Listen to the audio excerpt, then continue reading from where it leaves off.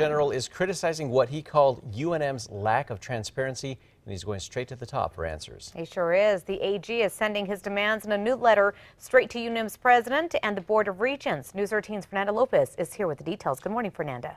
Good morning, Crystal and David. Here's the letter. In it, Attorney General Hector Balderas is asking for big changes in transparency as his office continues its investigation into the university. Last May, Balderas announced he would be launching an investigation including, including a criminal review of UNM's use of public funds and possible abuse of privileges. It all stemmed from a Larry Barker investigation, which uncovered a lavish $60,000 golf trip to Scotland paid with taxpayer money.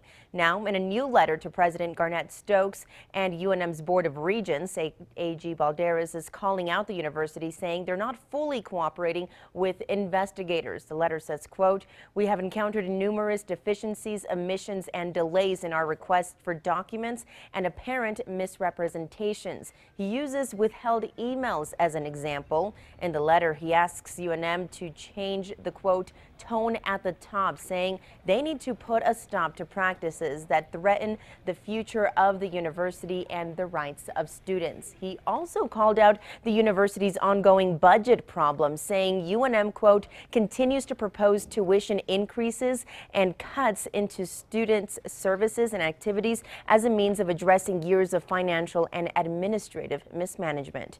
Back to you.